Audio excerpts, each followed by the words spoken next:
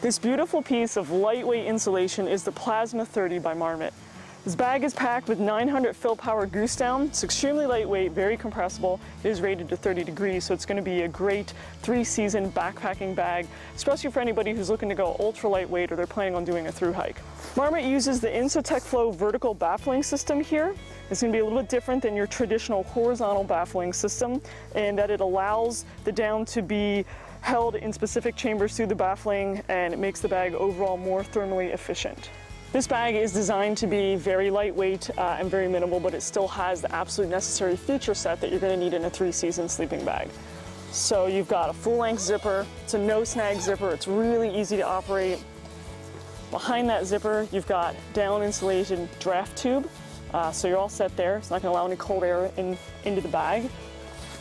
Up here at the neck, is kind of a nice added feature on this bag that is not usually found on 30 degree sleeping bags, but you do have a draft collar inside the bag. So it's down filled here. You have internal adjustments for that, so you can cinch that in around the neck while you're in the bag. You do have a snap closure here to hold it together. And up here at the hood, you've got another adjustment. One does the underside of the chin, the other does the top around the face. So if it is way down to 30 degrees and you're gonna cinch this thing in nice and tight, you can get that down so just, just your mouth and your nose are there, you're just breathing, covered up real nice and tight.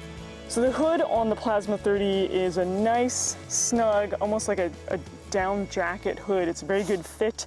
You do have some dimensionality with the baffling system here, the Marmot's design, so you've got different chambers with down in it. It's gonna be nice and warm on a chilly night. And the foot box on the sleeping bag also has dimensionality to it. So you've got a full box at the bottom. It's gonna be comfortable to keep your feet in as well as being thermally efficient. The Plasma 30 does come with a stuff sack and a storage sack. It weighs in at 1.6 pounds, making it an excellent partner for anybody who's looking to do some lightweight backpacking, looking for a three season down mummy bag.